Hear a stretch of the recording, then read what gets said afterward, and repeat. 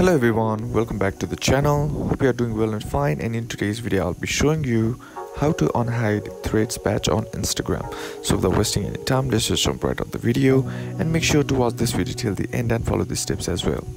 So the first thing that you need to do is open up your Instagram account or app.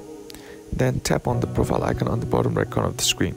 And as you can see, this is the threads badge. Now, once you tap on the three horizontal bar on the top right corner and then tap on notifications. Here, there is no available option to hide your threads badge. So basically, the threads badge cannot be hidden, but what you can do is head over to your threads app and then tap on your profile icon on the bottom right. Then tap on the three horizontal bar on the top right corner of the screen and then tap on account. And here you'll find an option that says deactivate or delete profile. Tap on that. And then simply tap on deactivate profile. Now here as you can see it only applies to your threads profile. So deactivating your profile will temporarily unlink your instagram account from your threads account which will remove your threads badge so that's basically how you can do it. And that's it for today's video guys. Hope this video was useful to you. Leave a like if it did.